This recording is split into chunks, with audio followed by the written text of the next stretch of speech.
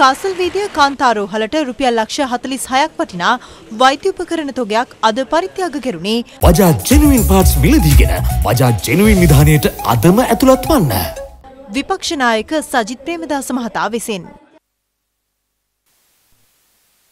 අද මේ කරන ක්‍රියාව තුළ අපි ඇත්ත වශයෙන්ම රටට දෙනවා ලොකු පණිවිඩයක්. ඒ පණිවිඩය තමයි අපේ කාලවකවානුවක් තුළ අපි අනිවාර්යෙන්ම මේ ආණ්ඩුක්‍රම ව්‍යවස්ථාවේ තුන්වෙනි පරිච්ඡේදය මූලික අයිතිවාසිකම් වලට අපේ රජයක් තුළ සෞඛ්‍ය අයිතිය, අධ්‍යාපන අයිතිය සහ අනෙකුත් ප්‍රධානතම අයිතිය ජීවත් වීමේ අයිතිය ජීවනෝපායකට අයිතිය අපි අනිවාර්යෙන්ම මූලික අයිතියක් බවට පත් කරනවායි කියන එක මේ අවස්ථාවේ ප්‍රකාශ කරනවා.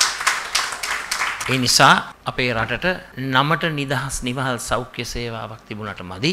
ඒ නිදහස් නිවහල් සෞඛ්‍ය සේවාව අපි රැකගන්නට ඕන, ආරක්ෂා කරගන්නට ඕන. ওই බෙදනවයි කියන කතාව බොහෝ දෙනා නිර්මාණය කරලා තිබෙන්නේ Tamanට බොහෝ දේවල් තිබෙන අය. තියෙන අයට මේ රටේ පොදු ජනතාවගේ සෞඛ්‍ය අවස්ථාවය වැඩි පෙනෙන්නේ නැහැ. මොකද ඒ අය යන්නේ ප්‍රභූ පැලැන්තිය පාවිච්චි කරන සෞඛ්‍ය පද්ධතියට. අපි හැමතැනම රැස්වීම් තියලා අපි කියනවා නම් කාන්තා අයිතිය සුරක්ෂා කරන්නට ඕනේ කියලා. කාන්තාවගෙත් දරුවගෙත් අයිති අපි ආරක්ෂා කරන්නට ඕන.